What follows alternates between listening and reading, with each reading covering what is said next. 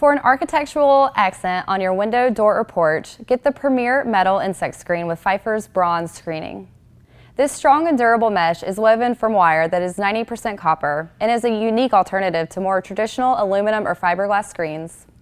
The bright finish weathers to a beautiful dark bronze in a few months, which provides good visibility. Phifer Bronze Insect Screening is the perfect choice for coordination with copper accents, such as roofing, dormers, or gutters on today's new homes, or to bring back the nostalgic look of yesterday's historic homes.